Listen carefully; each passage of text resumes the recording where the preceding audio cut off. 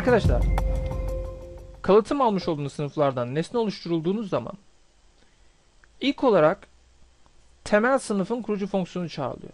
Bunun neden olduğunu bir önceki sunumda söylemiştim ben size. Sebep ilk önce kalıtım alınan sınıfın oluşturulmasından kaynaklanıyor. Önce o oluşturuluyor. Daha sonra sizin yeni sınıfınızın ek elemanları oluşturuluyor. Aynı şey burada da söz konusu. Kurucu çağrılırken öncelikle kalıtım alınan sınıfın kurucusu çağrılıyor. Aslında burada bir nevi iki tane nesne oluşturuyorsunuz. Örneğin öğrenciden bir nesne oluşturuyorsanız arka planda siz görmeseniz de çalışandan da bir nesne oluşturuluyor. İkisi aynı hafızada aynı noktayı konduğu için bir nesne gibi düşünüyorsunuz siz onu. Ama aslında arka planda iki tane nesne oluşturuluyor. O yüzden çalışan nesnesinin de kurucusu çağrılmalı. Çalışan sınıfının bir kurucusu vardı. Otomatik olarak o çağrılacak. O bittikten sonra da öğrenci sınıfının kurucusu çağrılacak. Yani burada bir nevi kurucu çağrılma hiyerarşisi var. O nasıl? Bakın burada göstereyim. Burada hiyerarşiyi biraz derinleştirdim. Bakın ikinci öğretim iki tane sınıftan kalıtım alıyor ardarda. Arda. Aslında bir sınıftan kalıtım alıyor. Kalıtım aldığı sınıfta çalışandan kalıtım alıyor. O zaman ikinci öğretim sınıfını açarsak içerisinde çalışan sınıfı bir kere var. Ayrıyeten öğrenciden gelen ek yapılar da var. Bakın şunu bilmeniz gerek. Kesinlikle aynı veri iki defa tanımlamaz. Öğrenci dediğiniz zaman içerisinde çalışandan gelenleri alıyor. Öğrenci de ek yazılan değişkenleri de alıyor. Daha sonra ikinci öğretim sınıfı içerisinde yazılmış ek değişkenleri de yerleştiriyor ve yeni bir sınıf oluşturuyor. Burada bilmemiz gereken şey 3 tane sınıfın birleştirilmiş hali gibi düşünebiliriz. Tabi burada kurucular hangi sırayla çağrılıyor? Aynı şekilde arkadaşlar. Mesela burada A1 oluşturduğumuz zaman ilk önce çalıştırılacak şey kalıtımın en başındaki çağrılıyor arkadaşlar. Çünkü ilk oluşturulan o. Daha sonra diğeri, daha sonra diğeri. Bu çok önemli. Bakın bir de yok edici fonksiyonlarımız var. Yok edici fonksiyonlar ise tam tersine çağrılıyor. Yine aynı sınıfımız olduğunu için yapı bu şekilde. Yok edici fonksiyon ne zaman çağrılır mesela? A1 nesnesi hafızdan silindiğinde çağrılır. Hatırlıyorsanız köşeli parantezler gittiğinde bu arkadaşımız yığında tanımlandığı için new ile tanımlanmamış. Eğer new ile tanımlanmış olsaydı köşeli parantezler yok olmasına izin vermezdi ama pardon küme parantezleri yok olmasına izin vermezdi ama dikkat ediyorsanız new kullanılmamış. A1 nesnesi stack'te tutuluyor yani yığında tutuluyor. Küme parantezi bittiği an A1 nesnesi hafızadan kaldırılıyor ve otomatik olarak yok edici fonksiyonu derleyici tarafından çağrılıyor. Peki bu sefer yok edici fonksiyonların çağrılma hiyerarşisi nasıl olacak? Arkadaşlar ilk olarak en son yaratılan nesneniki çağrılır. Yani ikinci öğretim 2. Ardından onun bir önceki kalıtımı aldığı arkadaş çağrılır. En sonunda çalışan çağrılıyor. Yani kurucu fonksiyonun tam tersi şeklinde çağrılıyor. Bu hiyerarşi de çok önemli. Bununla ilgili örnekler yapacağız. Son olarak da kalıtımla alakalı. Tabi son değil aslında. Bundan sonraki sunumda da çok detaylı ineceğiz kalıtıma. Bilmemiz gereken şey, bu sunumda göstereceğim son şey. Erişim belirteçleri arkadaşlar. Aslında bunu anlattım. Türetilmiş sınıflar kalıtım aldıkları temel sınıfların private üyelerine erişemiyorlar. Bakın private herkese kapalı. Kalıtım alana da dışarıdan erişene de. Fakat protected ve public üyelerine erişebiliyorlar. Tabi bu hangi durumda? Biz kalıtım türünün public olduğunu düşündüğümüz durumda. Diğer kalıtım türlerini kullanmıyoruz genelde. O yüzden bunu bir standart olarak düşünebilirsiniz. Protected ve public'e erişebiliyor fakat private'e erişemiyor kalıtım alan sınıf. Şimdi gelin biraz işi koda dökelim. Bu kurucuların ve yok edicilerin çağrılmasına bir bakalım. Şimdi arkadaşlar kurucular arasındaki ilişkiyi göstermek için, kurucu fonksiyonlar arasındaki ilişkiyi göstermek için kurucuların içerisinde çağrıldığını belirtecek bir ekrana çıkan mesaj yazdım. Ekran çıkan bir mesaj oluşturdum. Bakın aynı şekilde üçgende üçgen kurucusunun çağrıldığını yazacak. Ben bir tane daha kalıtım alacağım. Aslında gereksiz bir kalıtım ama sırf arka planda dönen işlemi göstermek için yapıyorum. üçgen.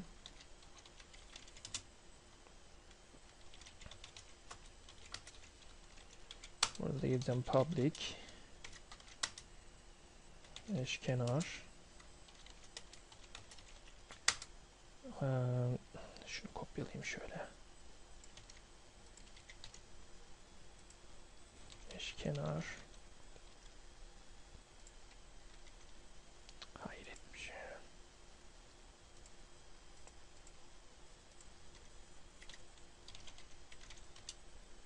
Çok iyi tamam. Eşkenar üçgen çağrıldı. Eşkenar üçgen. Şimdi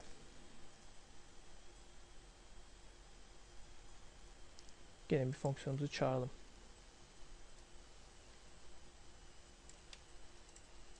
Şuraya gelelim. Üçgen diyelim. Eşkenar üçgen diyelim. E1 Bakalım nasıl çıkıyor ekrana. Hangi sırayla? Bakın. Şekil çağrıldı. Üçgen çağrıldı. Eşkenar üçgen çağrıldı. Halbuki ben sadece eşkenar üçgen oluşturdum. Üç fonksiyon aynı anda çağrıldı. Aslında bu kalıtımın ayrıyeten makine koduna ek büyük verdiğini görebiliriz. Üç tane fonksiyon çağrılmış oldu. Tabi fonksiyonlar inline de olabilir. Neyse çok detayına girmeyelim. Bakın eğer burada gelip ben eşkenar üçgen yerine sadece üçgen deseydim bu sefer de sadece ikisi çağrılacaktı. Gördüğünüz gibi. Peki yok edicilerde durum nasıl? Şunu tekrar eski haline alayım. Örneğin şekil için bir tane yok edici oluşturalım.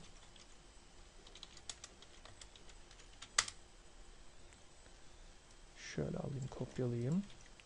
Ve şöyle yapalım. Hı. Aynı şekilde üçgen diyelim.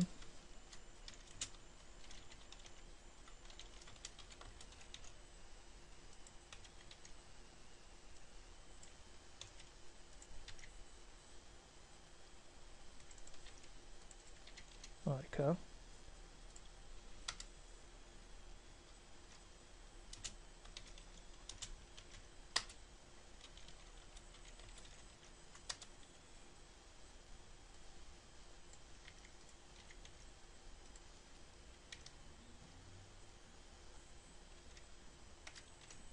Şimdi şurada da bir aralık vereyim çünkü yani ayrımı görebilelim. Bakın arkadaşlar.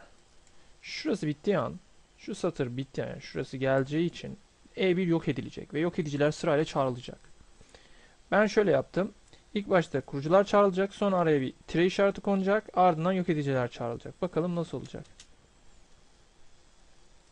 Bakın görüyorsunuz. Şöyle alalım. Öncelikle nesneyi oluşturduk. Kalıtımın en üstündeki çağrıldı kurucusu. Sonra bir altındaki çağrıldı. Sonra eşkenar üçgen çağrıldı. Yok edilirken ise tam tersi. Bakın önce kalıtımın en altındaki çağrıldı. Sonra onun bir üstündeki, sonra en üstteki. Hiyerarşi bu şekilde gidiyor. Tabi bir de bunların parametreli versiyonları var. Onlar nasıl çağrılıyor? Biraz da ona bakalım.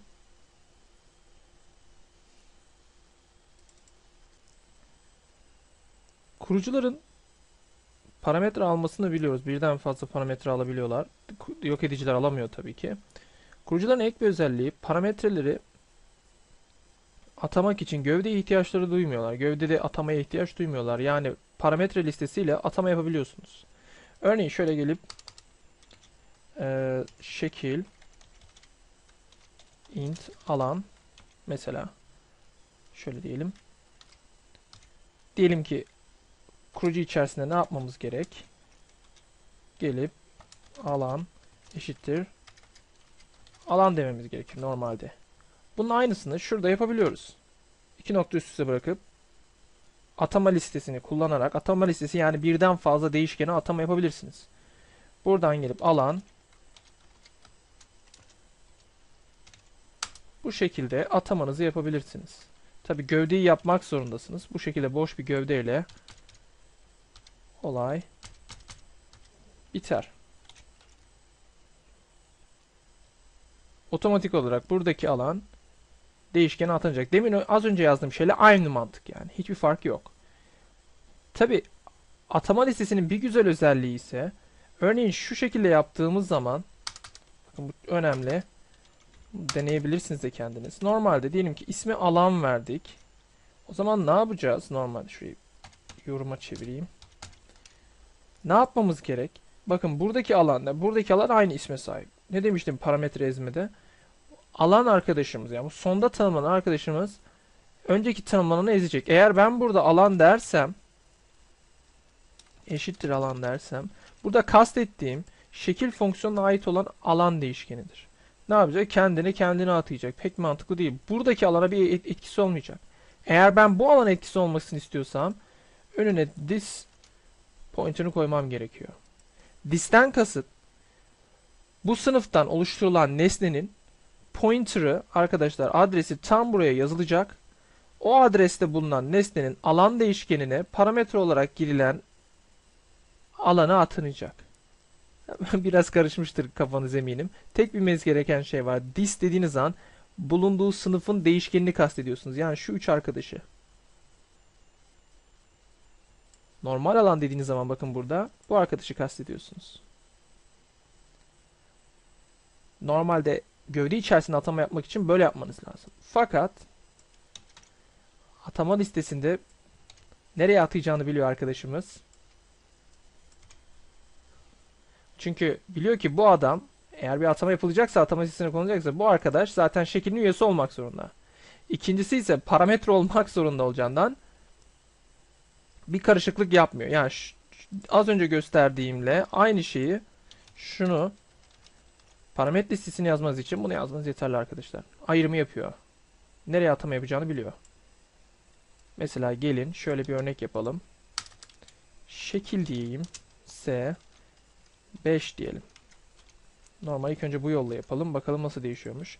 Breakpoint koyuyorum. Hata veriyor. Çok güzel. Tabii bu noktada bir hatamız varmış. Niye? Buraya bunu koyduğumuz için. Şimdi çok güzel. Bakın. Başlangıçta alanın değişken değerini görüyorsunuz. Rastgele bir değer. İlerlet dediğim zaman görüyorsunuz 5 değerini aldı. Atamayı yaptı. Yani bu arkadaşın şekile ait alan olduğunu biliyor. Bu arkadaşımızın da fonksiyonun parametresine ait olan alan olduğunu biliyor. Bu çok önemli. Buraya farklı şeyler de girebilirsiniz. Mesela virgül bırakıp ikinci bir parametreyi de ekleyebilirsiniz. Örneğin birim, santimetre, kare diyebilirsiniz. Atamayı yapar. Mesela şöyle gelirsiniz. Ha, hiçbir şey demenize gerek yok zaten. Parametre vermenize gerek yok. Pardon, karıştırdım. İkinci parametreyi verirsiniz. Şöyle diyebilirsiniz mesela. String birim dersiniz. Bu arkadaşımızın kısmına da birim diyebilirsiniz. O zaman burada değiştirmemiz gerekiyor. Santimetre kare. Ne yapacak? Santimetre kareyi alacak. Birim değişkenin içerisine yazacak. Aynı şekilde alan olarak girdiğiniz 5'i de şekile ait olan alan değişkenin içerisine yazacak. Şöyle B diyelim ki iyice kafanız karışsın. Bakın atama listesi kullandığınız için derleyici ne yapmak istediğinizi biliyor. Ama gövdede yaptığınız zaman derleyici eski kurallarına geri dönüyor arkadaşlar. Hani o ezme kurallarını hatırlarsanız en son tanımlanan önceki tanımlananı eziyordu. Ama bakın parametre listesi verdiğiniz için derleyici arka planda aslında bunların makine kodu tekrardan kodunu yazmak zorunda. Çünkü böyle bir kod yok. Bunun makine kodunu ayrıyeten yazmak zorunda. Standart kurallarına uymak zorunda değil. Biliyor burada burada tanımladığınız alanın ne olduğunu. Bakın hemen şekile ait alan olan yazmış görüyorsunuz. Ama gelir burada alan yazarsanız şöyle yazalım. Mesela 5 diyelim. Bakın üzerine geldiğim zaman int alan yazıyor. Bakın bu çok önemli. Derleyici bakın ne kadar yardımcı oluyor bize. İşte editörün avantajı bu arkadaşlar. Her türlü alanda yardımcı oluyor size. Bakın burada int alan diyor. Hangi int alan arkadaşlar? Şu. Bakın buradaki alana üstüne geldiğim zaman kime ait olduğunu biliyor. Bu çok önemli. Bakın burada da şekil alan diyor. Int alan yazmadı bakın. Şekile ait olan alan. Bakın buraya geldiğiniz zaman int alan diyor. Şöyle yapalım. Bakalım o zaman ne diyecekmiş. Gördünüz mü? Kime ait olduğunu biliyor artık. Şu şekilde yaptığım zaman int alan. Açıkçası yeni gördüm ben bu derleyicinin, bu editörün bu özelliğe sahip olduğunu. Harika bir özellikmiş. Ee, anlatmak istediğim benden iyi anlattı. Çok iyi. Şimdi peki şurada derleyelim. Parametresiz olanı çağırdık. E1'in yani eşkenar üçgen arkadaşımızın parametresiz kurucusunu çağırdık. Bakalım ekran nasıl bir sonuç çıkacak. Bakın gene parametresiz kurucu çağrıldı dikkat ediyorsanız. Şekil fonksiyonu parametresiz kurucusu çağrıldı. Peki ben nasıl yaparım da bu arkadaşın veya üçgen diyelim biz çok karıştırmayalım bu işi. Üçgen diyelim. Nasıl sonuç veriyor bakalım. Üç, şekil çağrıldı. Üçgen çağrıldı. Üçgenin yok edisi çağrıldı. Şeklin yok edisi çağrıldı. Ben nasıl yaparım da üçgenin şekil e, şekil sınıfının parametreli kurucusunu çağırtabilirim. Bunu nasıl yapacağım? Arkadaşlar onu yapmanın yolu şu. Öncelikle şunu belirlemeniz lazım. Hangi üçgen kurucusu çağrıldığında bu fonksiyonun çağrılmasını istiyorum. Kurucu olarak bu çağrılsın istiyorum. Şuna şöyle diyelim.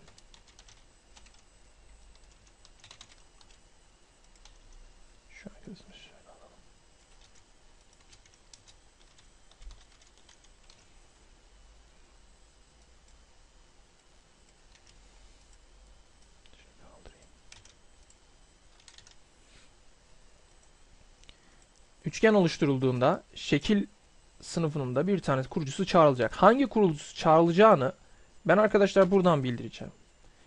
Kurucu çağrıldığında, üçgenin parametresi kurucusu çağrıldığında ben de buradan diyorum ki şekilin parametre kurucusunu çağır.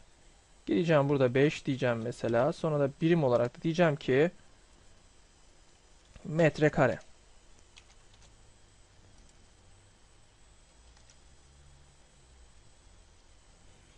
Bakın şimdi derleyelim. Gördüğünüz gibi parametre kurucu çağrıldı. Bu çok önemli. Bakın hangi kurucunun çağrılacağını da yani kalıtımın üstündeki sınıfın hangi kurucusunun çağrılacağını da karar verebiliyorsunuz. Mesela gelin burada üçgenin bir de parametrelesini yapalım. Bunları deneyebilirsiniz arkadaşlar. int diyelim. Yükseklik. int diyelim. Taban. Gelin onları da şurada atama yapalım. Yükseklik. Hangi yükseklik olduğunu biliyor bakın. Üçgen yükseklik yani. Yükseklik. Bakın bunun da hangisi olduğunu biliyor. int yükseklik. Bakın çok önemli. Bize direkt gösteriyor. Buradan da taban taban. Biz onları iki tane aynı değişken olarak görüyoruz. İkisi de aynı isimde değil mi? Ama bakın derleyici biliyor onların ne olduğunu. Parantezi açtığımız zaman diyor ki tamam soldaki sınıfa ait sağdaki ise yani içeride bulunan ise fonksiyona ait olan. Çok güzel. Birden fazla parametre kullanarak fonksiyonumuzu yazdık. Gövdesini de boş bırakalım.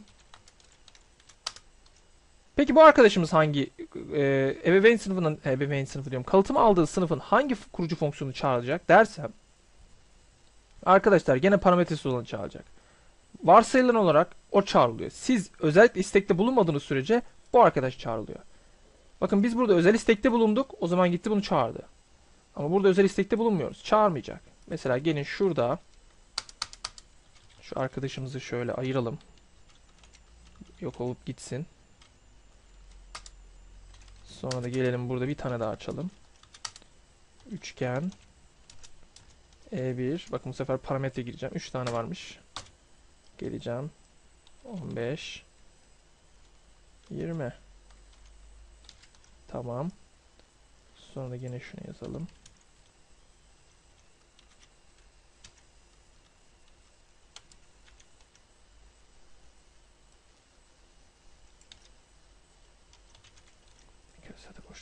Bakalım ne olacak.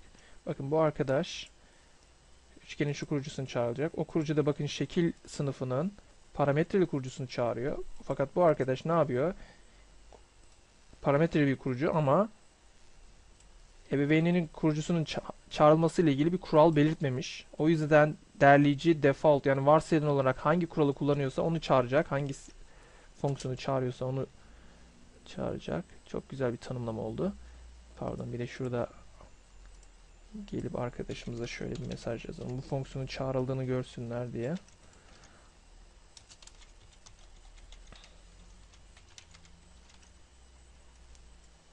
Tekrar söylüyorum. Bu arkadaşımız çağrıldığında gelecek bakın üçgenin parametresi olan kurucusunu çağıracak. O kurucu da oluşturulan şekil nesnesinin hangi veya şekil sınıfının da diyebilirsiniz bu durumda hangi kurucu fonksiyonun çağrıldığını belirtiyor, çağrılacağını belirtiyor. Parametre olanı çağıracağımızı belirtiyor. Değerleyiciye bir nevi zorluyorsunuz bunu çağır diye. Burada ise değerleyiciye herhangi bir zorlama yapmamışsınız. Yani şekil sınıfının hangi fon kurucu fonksiyonu çağrılacağına bir zorlama yapmamışsınız. O zaman da değerleyici kendisi karar vermek karar vermesi gerekiyor. Değerleyicinin ilk tercihi parametresi olan kurucu olacak. O yüzden bakın derlediğimizde görüyorsunuz. Şöyle yapalım. İn aşağı arkadaşım. Bakın öncelikle E1 için gitti ne yaptı? Şekilin parametre olan kurucusunu çağrıldı. Çünkü biz onu çağırmasını istemiştik. Sonra gitti kendi parametresi kurucusunu çağırdı yani bunu. Ardından yok ediciler bunları biliyoruz. Daha sonra bakın burada ise ne yaptık? Üçgen sınıfının parametre kurucusunu çağırdık. Parametreli kurucusu ne yaptı? Bakın hiçbir zorlama yapmadı. Şekilin hangi kurucusu çağılacağı ile ilgili. O yüzden değerleyici otomatik yerine bizim otomatik bizim yerimize karar verdi ve parametresiz şekili çağırdı. Şekil kurucusunu çağırdı. Ardından üçgenin parametreli kurucusu çağrılıyor. Ardından işte yok ediciler çağrılıyor. Yok edicilerde bir sorun yok çünkü onları o aşırı yükleyemiyoruz veya parametre giremiyoruz. Burada ekleyeceğim bir özellik daha var. Bakın bu atama listesi dediğimiz bu arkadaşlara yazarken sadece ve sadece sınıfın üyesi olanlara, direkt üyesi olanları yazabiliyorsunuz. Mesela üçgen içerisinde mesela gelip buradan mesela erişemezsiniz arkadaşlar. Ee, pardon e, cümle bozuk oldu. Üçgen sınıfının kurucu fonksiyonundan gelip şekil sınıfının alan değişkenine erişemezsiniz. Çünkü bakın daha bu fonksiyonun başında şekil sınıfı oluşturulmamış. Direkt erişim yapamazsınız. Bakın alan dediğim zaman şöyle 5 dediğim zaman bakın tanımayacak. Üçgene ait değil diyor. Ve onun bir onun bir e, temel sınıfı değil diyor. Yani bundan kalıtım almamış diyor. Anlamıyor yani. Direkt atama şansınız yok atama listesinde. Burada gelip atayabilirsiniz bakın. Burada sorun yok. Çünkü buraya girdiğiniz an üçgen kurucu fonksiyonun içerisine girdiğiniz an şekil nesnesi oluşturulmuştur. Yani onun kurucu fonksiyonu çağırıp bütün değişkenleri oluşturmuş oluyor derleyici. Ama bakın burada şu şu noktada daha oluşturmadı ve siz oluşturulmayan bir değişkeni çağırıyorsunuz. O yüzden hata veriyor. Bakın şu noktadaki noktayı koyduğunuz zaman burada aslında üçgen daha oluşturulmamış. İlk önce kalıtım aldığı nesne oluşturuluyor. Onun kurucu fonksiyonu çağrılıyor. Daha sonra üçgen sınıfının nesnesi oluşturuluyor. O yüzden buraya direkt alan yazarsanız hata verecek. İlla ki sizin tek şansınız yani daha doğrusu temel sınıfın yani kalıtım alınan sınıfın kurucusunu çağırmaya karar verebilirsiniz. Bakın bu işlem bittikten sonra gelip atama yapabilirsiniz kendi elemanlarınıza. Yükseklik diye. Mesela buraya da 10 dersiniz. Bu sefer hata vermez. Peki bakalım buradan sonra alan oluştur alana atama yapmamıza izin veriyor mu?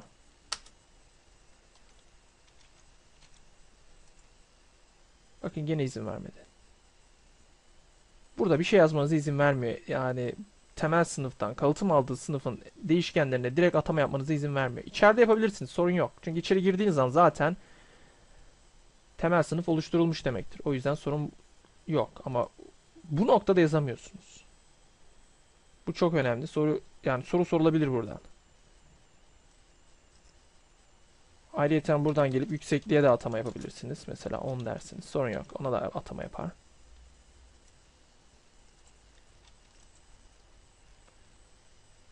Bunu da anlattıktan sonra sanırım daha başka anlatılacak bir şey yok. Buradaki sıra önemli.